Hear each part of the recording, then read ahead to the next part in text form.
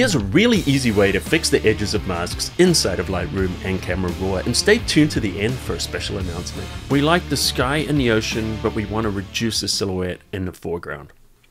So let's grab the masking tool and then we're going to choose select subject. Now the AI will make a selection around the gazebo, but we also want to include this foreground area. So the red area is the area that's going to get adjusted, so we want to add to it. So we're going to click Add, and we're going to grab the object.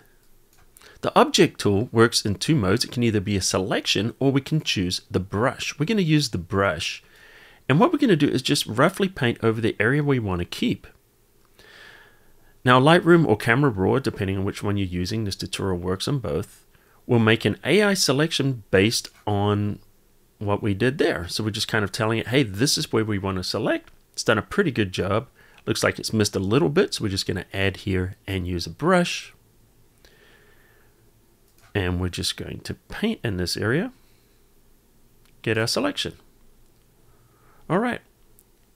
So why don't we go ahead and increase the exposure just a little bit. And we're going to open up the shadows a bit. I don't have to go a lot with this. So we see the problem is the silhouette around this foliage because it wasn't able to get a great selection. So we can fix this with range masking and other tools, but I want to show you a really simple way of fixing this, really easy to use. And if you're getting any value out of this video, hit that subscribe button, turn on notifications, you won't miss any of my videos. So what we're going to do is we're going to choose to subtract, and then we're going to grab the brush. Now what we want to do is we want to make sure the feather is all the way up, and I'm going to hit the right bracket key to make that brush bigger. So we want a nice big brush. If you see the two rings, the inner ring is where the brush is, the outer ring is where the feather goes. We want a nice feather. And what we're going to do is we're going to run that feather across the areas that we want to fix. But there's an additional thing we want to do is we want to turn on auto mask. And this auto mask, see where the pin is in the middle where it shows the minus? It's going to sample that color and it's going to protect those edges. All right, so let's go around here. Notice what happens as we start to just go around. Look at this.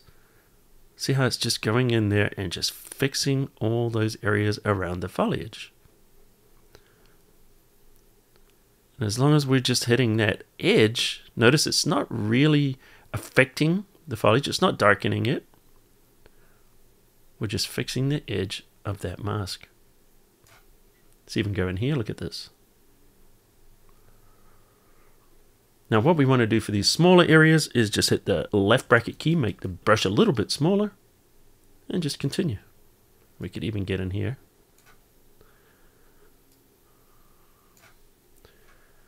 And if you look at that, see how simple it was to fix. This wasn't a very technical method, really simple to use, but very effective. And sometimes simple is the best way to go. And I said to be a special announcement, right now I'm middle of doing a comprehensive course on masking inside of Lightroom and Camera Raw. I think you guys are going to love it. More information coming soon, so stay tuned. And drop a comment and let me know if you found this video useful or learned anything new. And check out my other video here where I show you the newest features inside of Lightroom. And if you're new here to the cafe, hit the subscribe button, turn on notifications, and you won't miss any of my videos. Until next time, See you at the cafe.